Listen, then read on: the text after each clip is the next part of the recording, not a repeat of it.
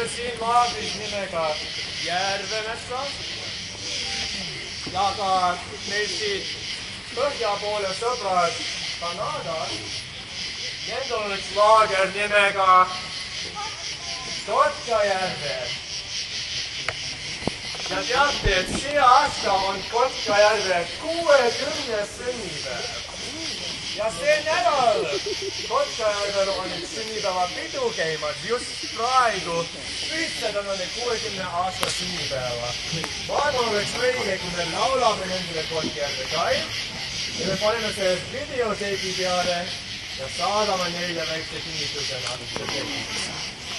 laulja hoogtab Kotkajärve kaid.